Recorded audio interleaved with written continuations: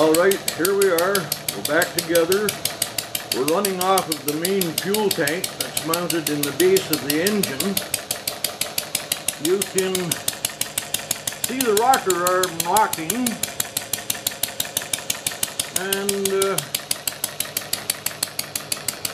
the engine is running quite consistently now. I still haven't hooked up the uh, governor but I wanted to get the original gas tank back in there and make sure everything worked with the original gas tank in place. And it does. So my next event is going to be hooking the governor up for the hit and miss.